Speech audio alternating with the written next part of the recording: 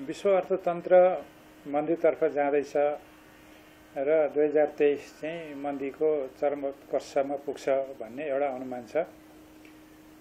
सन् दुई हजार एक्काइसमा छ प्रतिशतले बढेको विश्वको अर्थतन्त्र बाइसमा तिनभन्दा तल तेइसमा गएर एक प्रतिशतभन्दा पनि तलको आर्थिक वृद्धि हुन्छ। त्यसमा सबैभन्दा छिटो छिटो आर्थिक वृद्धि भएका चिन जस्ता मुलुकको आर्थिक वृद्धि पनि तिन प्रतिशतभन्दा तल हुने। त्यसै गरी अरू युरोपियन र अमेरिकी अर्थतन्त्रहरू पनि त्यस्तै एकदेखि दुई प्रतिशतभन्दा माथि नजाने। भारत बाहेक अरू मुलुकको आर्थिक वृद्धि दर अहिले अपेक्षाकृत तल हुने अनुमान छ।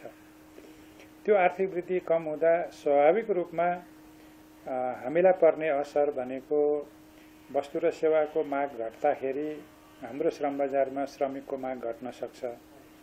हाम्रो वैदेशिक व्यापार निर्यातको अवस्था घट्न सक्छ। हामी कहाँ आउने पर्यटकहरू घट्न सक्छन्। त्यसै गरी कतिपय मुलुकहरूले द्विपक्षीय रूपमा दिने सहायतालाई पनि प्रतिकूल असर पर्न सक्छ। त्यसको असर त हामीलाई पर्छ नै। तर त्यसको बावजुद पनि हाम्रा आफ्नै कारणले हामी चाहिँ मन्दीतर्फ जाँदैछौँ भन्ने सङ्केतहरू मिलेका छन्। यसको पहिलो उदाहरण चाहिँ के हो भने वस्तु र सेवाको माग समग्रमा घटेको छ। वस्तुको पनि सेवाको पनि। केही समय अगाडिसम्म हामी पर्यटनले राम्रो सेवा दिइरहेको छ राम्रो किसिमको वृद्धि भइरहेको छ भन्थ्यौँ। बाह्य पर्यटकहरू आइरहेका छन् त्यो राम्रो कुरो। तर अब आन्तरिक पर्यटनमा समस्या देखिन थाल्छ किनभने मान्छेको क्रय शक्ति नभएपछि र आफ्नो आम्दामीको स्रोत सम्पत्तिको स्रोत घट्दै गएपछि खास गरी सँग हामीले हेर्ने हो भने व्यवसायको लाभ आफ्नो सम्पत्ति घर जग्गा सेयरको चाहिँ मूल्य घट्दै गएपछि अनि मानिसहरूलाई मनोरञ्जन गर्न त खर्च गर्न सक्दैन हेर्नुहोस्। त्यो स्थितिमा चाहिँ एउटा सेवाको माग घट्ने र वस्तुको पनि माग घट्ने अवस्था देखिन्छ। वस्तुको माग घट्ने अवस्था चाहिँ दुई तिनवटा कारणले हो। एउटा ब्याङ्किङ क्षेत्रबाट पर्याप्त कर्जा प्रवाह नहुँदा निर्माणजन्य गतिविधि हुन पाएन। निर्माण सामग्रीको माग घट्यो। र निर्माण सामग्रीको माग घटेसँगै निर्माणसँग सम्बन्धित उद्योगहरू मन्दीतर्फ जाने एउटा सङ्केत भयो। अब दोस्रो भनेको अलिक किसिमको चालु पुँजी कर्जा अथवा अरू कुनै किसिमको उपभोग कर्जा ब्याङ्कहरूले प्रवाह नगर्दा सवारी साधन या उपभोग्य सामान यस्ता वस्तुहरूको पनि माग घटेको छ अहिले। सवारी साधनमा आयात प्रतिबन्धित गरेपछि त यहाँ त सवारी साधनको हाकारै होला मान्छेले किन्नै नपाउलान् भन्ने स्थिति अहिले छैन। भन्सारको यार्डमा आएका गाडी नछुटाएर यार्डमै राखिरहेको छ कि किन्ने मान्छे अर्डर आएन गाडीको भनेर यार्डबाट गाडी छुटाएर ल्याउने स्थिति छैन। आन्तरिक उत्पादनको चाहिँ अब अहिले चाहिँ सरकारले आयात नियन्त्रित गरेपछि आन्तरिक उत्पादन खुबै बढ्यो होला उपभोग पनि बढ्यो होला भन्ने अनुमान गर्नेलाई पनि सोझो हेर्ने हो भने आन्तरिक उत्पादनको पनि बजार गतिलो रूपले बढेको छैन। सरकारको आन्तरिक उत्पादनमा जुन मूल्य अभिवृद्धि कर लिने हो मूल्य अभिवृद्धि करै घटेको छ अन्त शुल्कै घटेको छ। अब अलिपछि आयकर पनि घट्छ। पहिलो चौमासीको आयकर बुझाउँदाखेरि त्यो पनि घटेको देखिन्छ होला। त्यसले के देखाउँछ भने आन्तरिक रूपमा उपभोग घट्यो जसले गर्दा मूल्य अभिवृद्धि कर पनि उठ्न सकेन।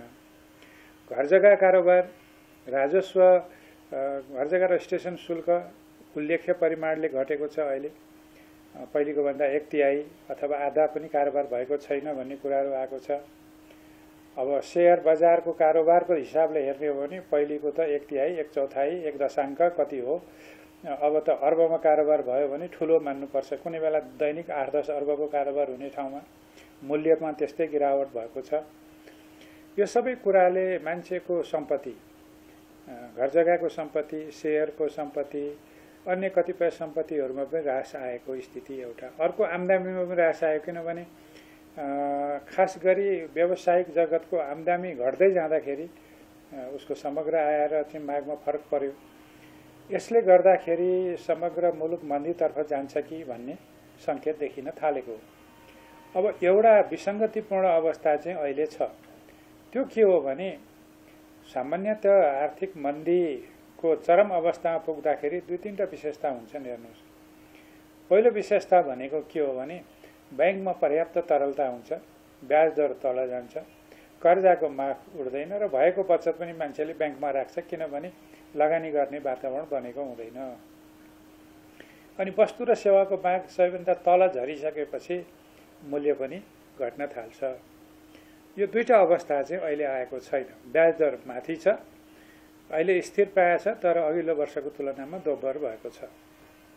मूल्य वृद्धि आजको मितिसम्म एक अङ्कमा छ तर अघिल्लो वर्षको भन्दा दोब्बर छ। र यो घट्ने सङ्केत सङ्केत छ कि भन्न सकिन्छ तर त्यो उल्लेख्य रूपमा मुद्रा यो मुद्रास्फीति घटिसकेको अवस्था होइन।